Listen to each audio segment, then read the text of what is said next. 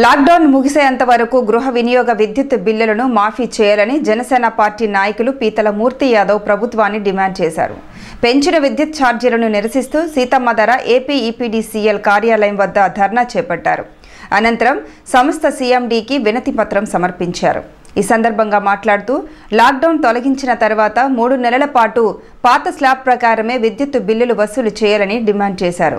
Corona కారణంగా ఎటువంటి ఆదాయం జీతాలు లేక ఆర్థికంగా ఇబ్బందులు పడుతున్న రాష్ట్ర ప్రజలపై కరెంటు ఛార్జీల భారాన్ని మోపడం ఎంతవరకు సమంజసమని ప్రశ్నించారు.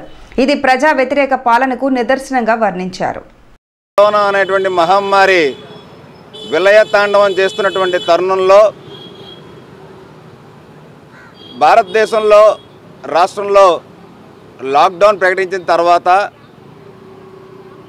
రాష్ట్ర ప్రభుత్వం అర్ధాంతరంగా విద్యుత్ ఛార్జీలు పెంచుతూ ఇవాళ గృహ వినియోగదారులకి విద్యుత్ బిల్లులు ఇవాళ ఇవ్వటం అన్నది చాలా భయాందోళనకరంగా ఇవాళ రాష్ట్ర ప్రజలకి ఉంది. లాక్డౌన్ ప్రకటించిన దగ్గర నుంచి లాక్డౌన్ ఎత్తేసేంత వరకు కూడా విద్యుత్ బిల్లుల్ని గృహ వినియోగదారులకి మాఫీ చేయాలని చెప్పి ప్రధానంగా డిమాండ్ చేస్తూ ఉన్నాం.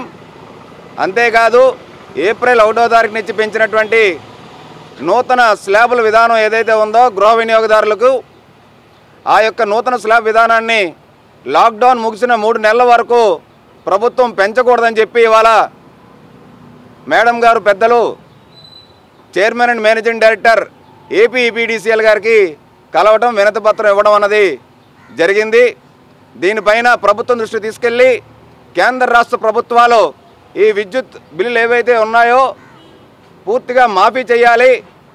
సామాన్యుడు ఎవరు కూడా ఇవాళ వాళ్ళ జీవనోపాధిని కోల్పోయి ఎటువంటి ఉపాధి లేకుండా ఇళ్ళ పట్టణ ఉన్నారు కాబట్టి ఒకేసారి స్లాబ్ రేట్లు రెండు నెలలకు ఒకేసారి బిల్లు తీయడంతో పెద్ద ఎత్తున విద్యుత్ బిల్లు ఇవాళ నాలుగింతలు ఐదింతలు పదింతలు ఇంటెత్తు కన్నా నెల విద్యుత్ బిల్లు ఎక్కువ వచ్చినటువంటి తరుణం ఇప్పుడు ఏర్పడింది.